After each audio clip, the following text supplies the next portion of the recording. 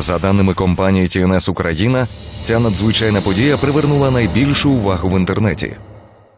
Днями делегація ООН з попередження катувань достроково призупинила роботу в Україні. Їм не вдалося потрапити до місць несвободи, які вони хотіли відвідати. За словами європейців, Служба безпеки України нібито їм відмовила у доступі до місць утримання ув'язнених в кількох районах України. Мова про Краматорськ та Маріуполь. Річ у тім, що працівники підкомітету ООН запідозрили СБУ. Мовляв, саме у цих місцях українські силовики могли утримувати чи утримують затриманих осіб. Ця відмова є порушенням зобов'язань України як держави, учасниці факультативного протоколу до конвенції проти катувань. Правозахисники кажуть, члени делегації ООН вже неодноразово мали сигнали про утримання осіб без законних підстав. До того ж, все це відбувалося у жахливих приміщеннях. До Харківської правозахисної групи е, надходить інформація безпосередньо від осіб, які перебували в е, приміщеннях слідчих е, служби безпеки України е, без е, належного оформлення.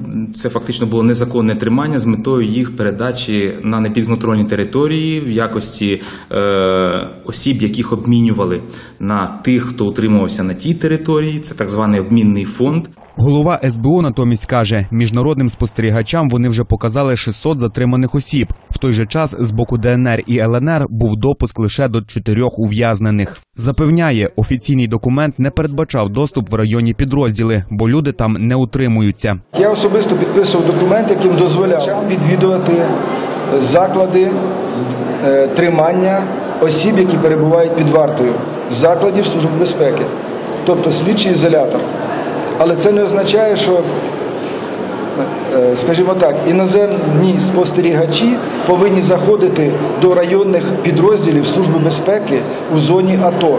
Правозахисники наголошують, для України така ситуація насамперед це іміджеві втрати. Залагоджувати цей конфлікт, наново вести переговори, відновлювати моніторингову місію буде не так вже і легко.